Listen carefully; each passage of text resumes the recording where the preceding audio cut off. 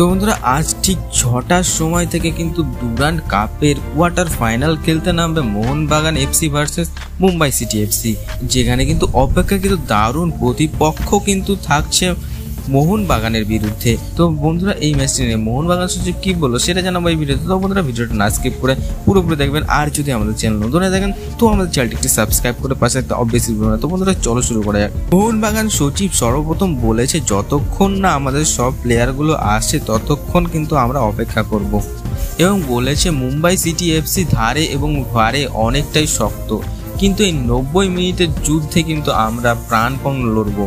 আর যেমনটা বলেছে, আগের বার ইস্ট বেঙ্গল হেরেছিল, কিন্তু এবার তো জিতেছে। তেমনি আমরা হারছি বলে জিততে পারব না, এমনটা ভাবা ঠিক নয়। আর ডিমিট্রি পেটেটাসের কথা উল্লেখ করলে সে বলে, আমাদের নেগেটিভিটি আছে, চারটে প্লেয়ার চলে গেছে।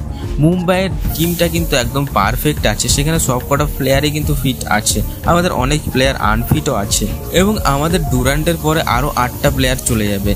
আমাদের প্লেয়ারের জন্য অপেক্ষা করতে হবে। কিন্তু তবুও মাঠে আমরা লড়াই চালিয়ে যাব। বন্ধুরা, এমনটাই জানিয়ে চলে সচিব তো বন্ধুরা, ছোট্ট একটা নিউজ নিয়ে।